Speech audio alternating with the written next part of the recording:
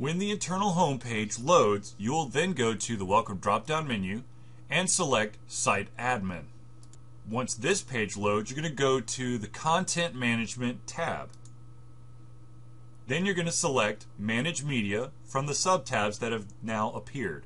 Finally, you're going to click on the link Media Library List. As you can see, there are already some media libraries for this example. But today we're going to create a new media library. To do so, you'll go to the Add New Library button and click. You'll now be presented with several different fields and options that you need to fill out. First of all, and most importantly, you need a library name. It's then recommended that you give a description for the library so that when people browse it, they understand what this library is supposed to accomplish. You can now decide what category your library is going to fall under by clicking on the drop down menu right across from category. But for today, we're just going to choose general content. You can also change who can view this library. Currently, it is set to everyone. But if you use the drop down menu, you can select it for only registered users. You can also have a start date and an end date for your media library to show up on your website. To do this, you will click on the calendar and select the start date and then once again for the end date. At any time, if you would like to take your library offline without having to do the start and end date, all you'll have to do is uncheck the Mark Active checkbox. If you want more than just your user to have access or have ownership in this media library, you'll add their usernames to this line.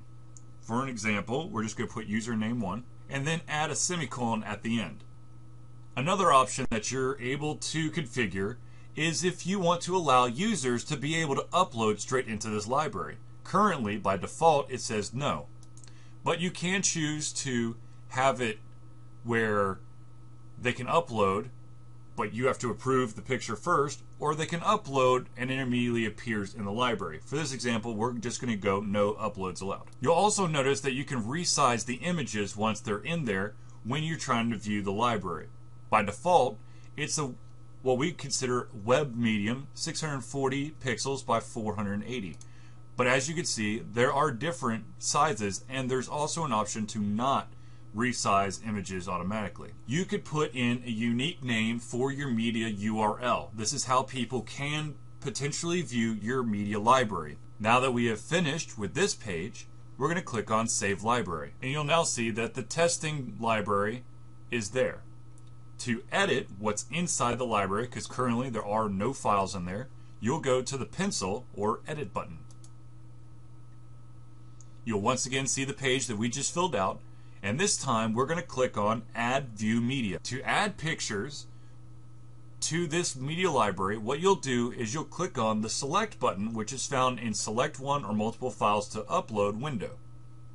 Once you click on Select, you'll notice that an Explorer window has now popped up and now you'll be able to choose what images you would like in this library if you want to try to add several images at the same time in the same folder from your computer, what you can do is you can hold down the control key and then click on every single image you'd like to add.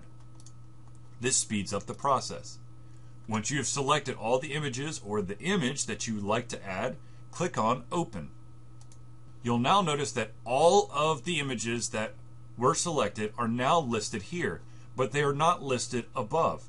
That is because we haven't actually chosen to save those pictures to the media library yet.